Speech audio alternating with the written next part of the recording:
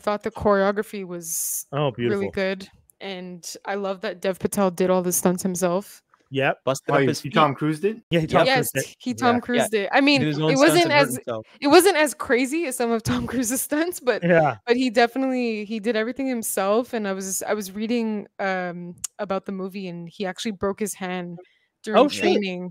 For for fighting for the movie. Yeah. Oh, is that why it's wrapped so much in the movie? Because there's a lot of times where he has his hand wrapped, and I was just like, is that because he's?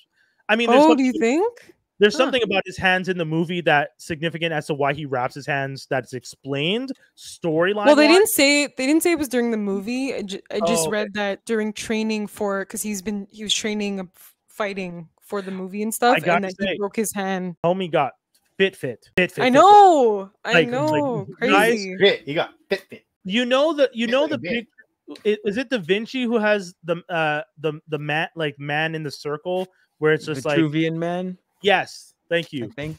and I then could be and mispronouncing it, but I think it's. and then at that. one point uh, on that image the shoulder it shows the muscle as the Mhm. muscles connect from the shoulder to the arm there's one point where dev is holding up buckets of water and you see the muscle as if there was no skin like his muscle is so defined Yeah. it looks like he's just a da vinci painting of muscle and i was just like Mm. my Yeah. dude how much training did you do for yeah, this he got Like- really uh he got insane. ripped.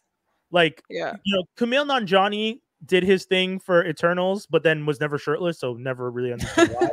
but at least Dev did his training and was just like, no, this is what a South Asian uh slim, slim, fit man can look like, and then just Mhm. you know popped on the screen and all all and uh, when he took his shirt off at one point and all the all the women started oohing, I was just like, these girls, I'm here for it. Go good for you, Dev. You did the work, buddy. Yeah, you could Uh, tell he worked Go hard work, on it. buddy. He did, man. He put that work in because Helping was Good fit. for him. Mhm. Yeah. Uh, I think that's pretty much everything I had to say for the movie. And unfortunately, we we ran long because we we did X Men, we did ch- child rearing, and we did uh, Monkey Man.